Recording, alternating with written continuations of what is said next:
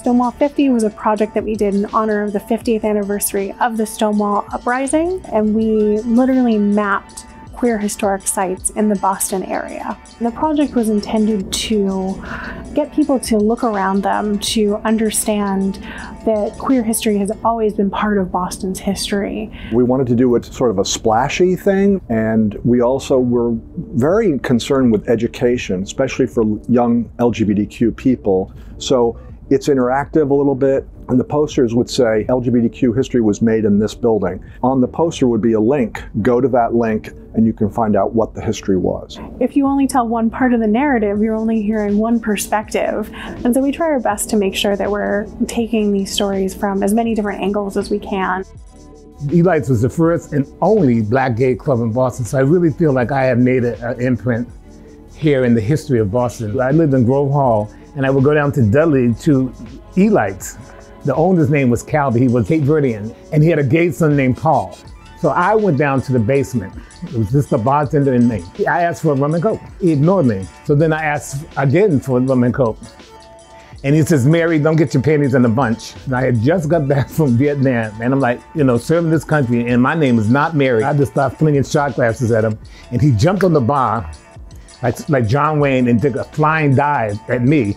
So I went upstairs and I said, Paul, we can't go back to this club. This is ridiculous how they treat us. Why don't you talk to your father about turning this into a, a gay club? And that's how Elites was born. A place where you could be glamorous with no one calling you names. You felt elite at Elites. the number one vote getter in our site was a surprise. It was the Boston Public Library main branch in Copley Square. The reason why they chose it is because there was a scandal in the men's room in the late 70s. The Boston police would put a decoy and if that young man was approached, the person would be arrested. It got so that some gay men were arrested walking around the library looking for a book. Every political activist group met here. We opened the doors here and said, this is your community center. There was a health club down the street called Back Bay Racket Club. They were harassing people that were obviously gay. We started out, it was the health club downstairs with a tiny little restaurant up here, shut down Back Bay Racket Club. They went out of business like six months later. I call it the incubator for so much that has transpired in the gay community and in the nation.